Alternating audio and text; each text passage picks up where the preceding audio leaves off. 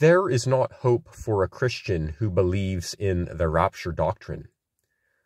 What do you think the odds are, for example, that you are going to die a physical death? What statistically happens to everyone who lives? Do they escape death or do they die?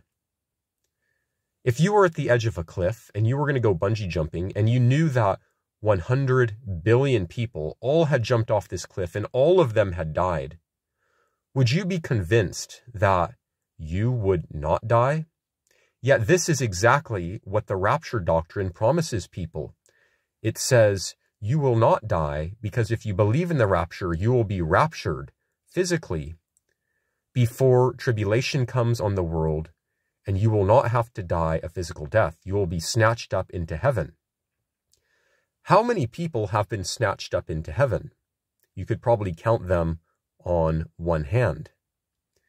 Not very many people. So for you to hold out to be raptured is a horrible hope. All the prophets died, all the men of God died, people die whether they are Christians or atheists, good people or bad people, everybody dies. So for you to hold on to an idea that you might not die is a very weak and pathetic hope. But there is great hope, wonderful hope, and power in the name of Jesus Christ. He came to save all people of all ages, all times. And if you put your faith in him, he will pull you up out of the grave. He will give you everlasting life. That doesn't mean that you won't die a physical death or have to overcome through trials and tribulations.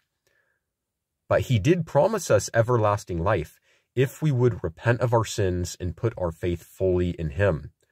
Put your faith in Jesus Christ today, not in a doctrine that offers no hope. May the grace of Jesus be with you.